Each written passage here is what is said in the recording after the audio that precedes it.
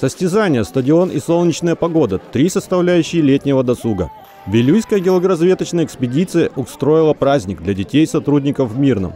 Каждый участник получил обходной лист и выполнял задания – съесть пирожок, посетить мастер-класс, поучаствовать в конкурсах и эстафетах.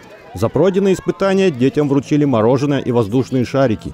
В конце праздника все танцевали под буйство красок холи.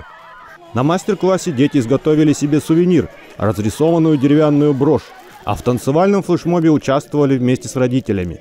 Вообще профсоюзный комитет Вилюйской ГРЭ старается менять форматы проведения праздника. В прошлом году у нас были подарочные сертификаты, позапрошлом мы праздновали э, в игровых комнатах. Вот сегодня радует погода, и мы с детьми на свежем воздухе. На праздник пришли более 100 детей, больше, чем ожидали организаторы.